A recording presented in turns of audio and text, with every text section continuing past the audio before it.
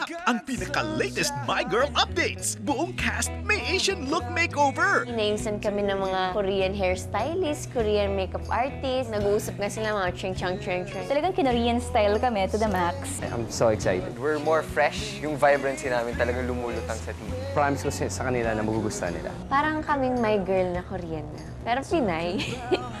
very, very pretty. People will like it. The Pinay My Girl. Coming soon sa Primetime Bida.